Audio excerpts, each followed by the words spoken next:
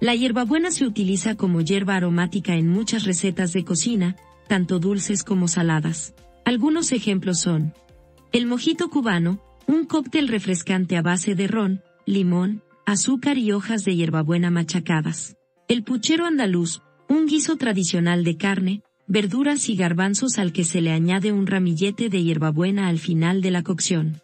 El tabulé, una ensalada típica de la cocina árabe, hecha con cuscús, tomate, pepino, cebolla, perejil y hierbabuena picados y aliñados con limón y aceite de oliva.